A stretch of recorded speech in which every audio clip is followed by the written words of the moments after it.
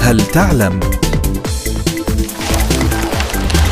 هل تعلم أن تونس هي أكبر منتج للزيتون في العالم؟